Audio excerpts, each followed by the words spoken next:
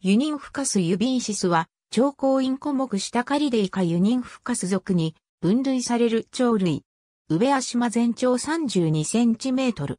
頭に緑色の羽毛が伸長し、関羽先端に赤色部はない。頭部に黄色みがない。くちばしはとても太く、好みを食べるのに適している。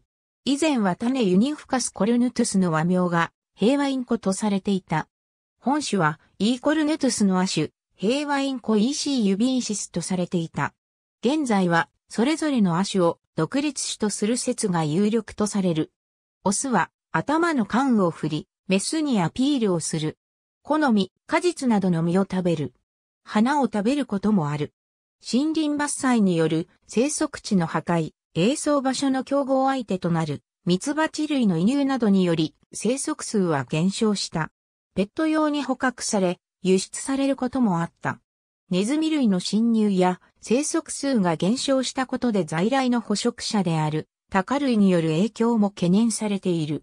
2010年現在生息数は増加傾向にある。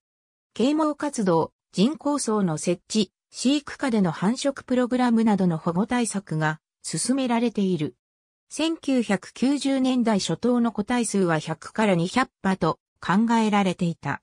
2016年には個体数が約1780羽とする報告例がある。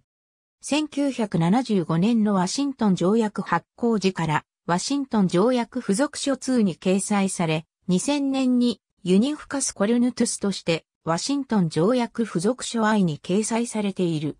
ありがとうございます。